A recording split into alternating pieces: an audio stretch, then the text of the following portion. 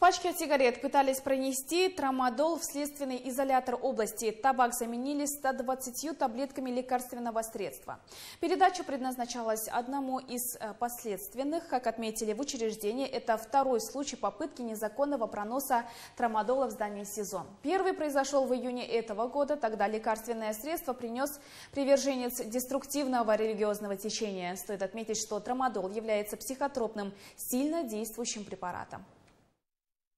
маңғыстау облысы қаржы департаментінің номер жетпіс жетінші В учреждении номер 77 ДУИС Мангостауской области сотрудники досмотра проверяют все передачи.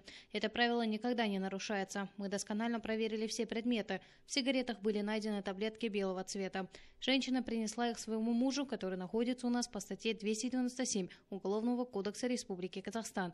Незаконное изготовление, переработка, приобретение, хранение, перевозка в целях сбыта, пересылка, либо сбыт наркотических средств, психотропных веществ, их аналогов. Была вызвана оперативная группа полиции и собраны необходимые документы.